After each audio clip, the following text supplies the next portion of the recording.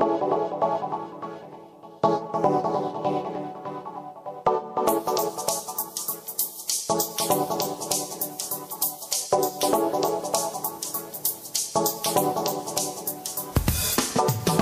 morning, greetings, friends, and welcome to The Bright Side, your nutritional program dedicated to the understanding of the vast world of nutrition and nutritional supplementation. I'm your host, Pharmacist Ben, nutritional pharmacist from Boulder, Colorado. I specialize in using nutritional supplements where other healthcare practitioners use toxic pharmaceutical drugs and sometimes deadly medical procedures if you suspect that there are natural nutritional roads to your vitality and health and well being and to addressing your health challenges, whatever they may be, but you don't know where to begin, you have come to the right place. As you listen to the bright side every day, you are more and more in control of your body. You are more and more knowledgeable, and you know you can overcome any health issue. That's why we're here every day on the bright side helping clear up the sometimes confusing world of nutrition and nutritional supplementation. Over the last 29 years of practicing pharmacy, I've seen drug free recoveries from diabetes and hypertension and obesity and skin diseases like psoriasis and eczema and rosacea, acne, digestive ailments, autoimmune issues of all kinds. Recoveries that by the standards of modern medicine can only be called a miracle, but what is in the world of the body, what is in the world of biology, standard operating procedure. Because the human biological system is a healing system, it's a regenerating system. It is always designed divinely to heal and renew itself on a moment to moment basis. And while some folks may call that healing, renewing, regenerating system a miracle, it really is just the way the body works.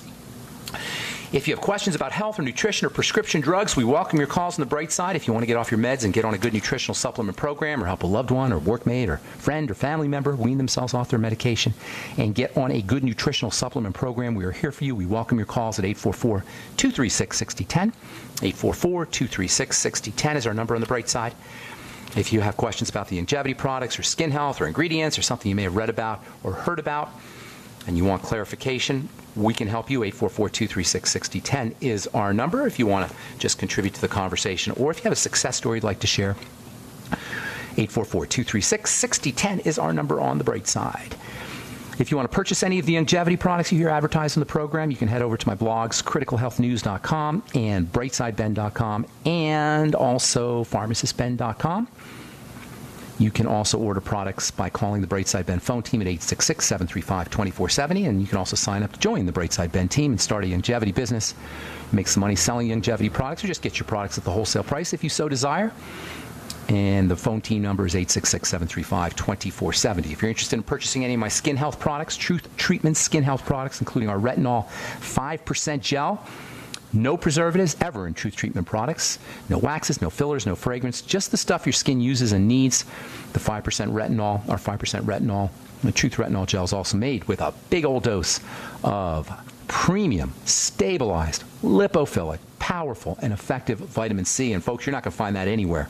You're not going to find 5% retinol anywhere, first of all. You'd be lucky if you find 1% retinol. And guess what? With the Truth Retinol Gel, 5%, no irritation. How you like that? Some folks even use it every day. Not that I recommend that you use it every day, but certainly you're not going to have any irritation if you use it once or twice a week. All right. If you, oh, by the way, truthtreatments.com, truthtreatments.com if you want to purchase any of the Truth Treatment products. So we've been talking skin health and pigmentation now for a while. We've touched on the various elements that are involved in keeping the skin healthy. We've talked about the digestive system. We've talked about nutrition. We talked about the stress response, but we haven't really addressed the major mediating force, the major control point of skin chemistry, and really the major control point when it comes to all biochemistry, and that is the hormone system. Yes, it's true. We talked about specific hormones, and we talk about specific hormones a lot. We talk about thyroid hormone a lot, and thyroid hormone is unbelievably important for the skin. Thyroid hormone is involved in moisturization of the skin and the skin's resilience and the skin's robustness and responsiveness to the environment. Hypothyroidism will cause dry skin. Hyperthyroidism will cause oily skin. We've talked about cortisol. Cortisol is a stress hormone. The body will break down and the skin will break down under conditions of elevated cortisol. Elevated cortisol is way more significant as an, a skin aging factor than, than anything else, really, than any preservatives in, in skincare products or in, uh, in any, really, any skincare products, period. The hormone cortisol is a, uh, said to be a catabolic breakdown hormone. And when you have wrinkles and you have hyperpigmentation and you've got poor wound healing, you have eczema, psoriasis, really any skin issue, you can rest assured cortisol is lurking behind. We talked about aldosterone. Stre- the, the little known stress management hormone, your mineral hormone, the hormone that's responsible for high blood pressure, or partially anyway, responsible for high blood pressure. Aldosterone is also a skin hormone because it can cause puffiness of the skin. Interestingly, aldosterone has been shown to stimulate or enhance wound healing. But we haven't really talked about the nature of hormones, what they are in a general sense, and in a general sense, how they work. Now, the word hormone certainly is one that we've all heard of. The word hormone has been in the American health lexicon for a little over 100 years and it's become especially popular over the last 40 or 50 years. It became really, really popular in the 60s. A book called Feminine Forever was written by a doctor, I forgot his name, from New York City, and he hypothesized that by using estrogen, you could stay feminine forever. Um, and since then, pretty much, hormones have been in the in the news and in the press and is, have have glibly rolled off the lips of medical professionals for decades now. You hear women talking about their hormone problems. Doctors will say hormones are responsible for your health issues. Sometimes they don't even know what they're saying. People talk about hormonal acne and hormonal balancing and hormonal testing and hormonal replacement and bioidentical hormones, but what exactly these vital, critical biochemicals are remain for most of us somewhat of a mystery. So, for the next couple of days, at least, I want to talk a little bit about hormones in general, what exactly these things are, and why they are so important. So, when your doctor says, Oh, it's your hormones, or when your friends say, Oh, my hormones are messed up, or I'm on bioidentical hormones, or it must be my hormones, you'll know what they're talking about. Sometimes people tell me their health issues or their skin problems are hormonal. I hear skincare professionals say this all the time hormonal acne. What does that mean? Everything is hormonal. Nothing happens in the body without hormones. So, what does that really mean when you have a hormonal condition? So, to understand the importance of hormones, you've got to understand about the two most important classes of chemicals in the body that are associated with activity. You have two major activity chemicals there are the enzymes, and then there are the hormones. Those are the two major classes of chemicals in the body that are involved with action, activity. Enzymes are the life. Enzymes do all the work in the body. No enzymes, no life. And this is why, in my opinion, enzyme supplementation is getting ready to be the next big thing in health and nutrition. Mark my words. You are going to start to hear more and more about enzymes. I'm not talking digestive enzymes, that's certainly important. I'm talking about general enzymes, systemic enzymes, enzymes that are involved in the chemistry of the body. Now, we've talked a bit about enzymes. We had Troy Opperle on, who's an enzyme expert. We had Viktoras Kulvinskas on. Uh, for the last couple of weeks, we've had these, both of these guys on talking about the importance of enzymes. We're going to continue talking about the importance of enzymes. In my opinion, again, our enzymeless, i.e., dead food diets, are a leading cause, if not the leading cause, of our health and disease crisis. If you wonder why over the last 100, 150 years, our health has gone down the tubes, down the toilet. We're sicker and sicker and sicker than ever before, even though we got more brilliant doctors than ever before. If you're wondering what that, uh, what to attribute that to, you can pretty much you can pretty much assume that enzymeless food have a lot to do with it. Over the last 150 years, we figured out through food processing how to how to keep food stable, shelf stable, by removing the enzymes. That's what a processed food is. It's a food that doesn't have enzymes in it. So, enzyme supplementation, I'm not just talking about digestive enzymes. And, certainly, there's digestive enzymes are important. The ultimate enzymes for longevity are super duper important. But enzyme supplementation, you're going to start to hear more and more about it. For overall health, enzymes are unbelievably important. Systemic enzymes. If you're interested, you could find high end systemic enzymes and, by the way, gluten digesting enzymes at brightsidehealthproducts.com. That's my, my uh, shopping cart, my, uh, I guess you say, store, internet store. When I see good products, I want to be able to make them available. We've got the Bergamax up there, uh, up at brightsidehealthproducts.com. I've got a interesting energy weight loss, energy slash weight loss sublingual spray. And then also, we've got some super high end systemic enzymes, brightsidehealthproducts.com. Now, enzymes are important for sure. but hormones. Now, hormones are the signals that turn on the enzymes. I'll tell you what I mean when we come back from our break. I'm far-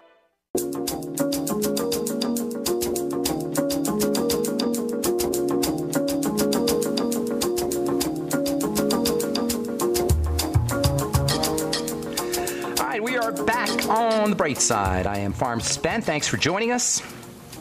We're on the air Monday through Friday, 8 to 9 Pacific, 10 to 11 Central Time and 24 7 on our archive page at benfuchsarchives.com. Thank you to Peter in the UK for setting that up. Also, you can get uh, all the shows archived and, and searchable at brightsideben.com. If you want to purchase any of the longevity products, you can do that off brightsideben.com as well, or you can go to criticalhealthnews.com, or you can also go to pharmacistben.com.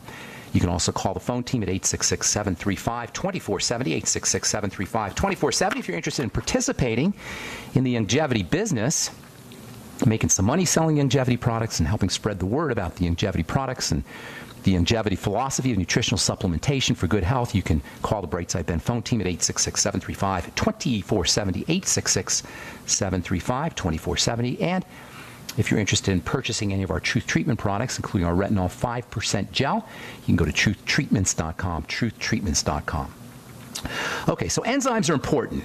Clearly, they are the life.